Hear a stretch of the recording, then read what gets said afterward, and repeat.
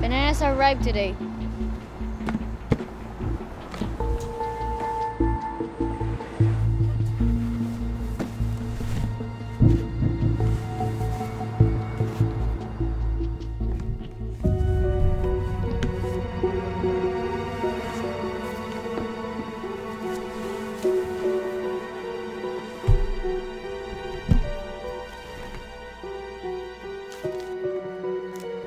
thank you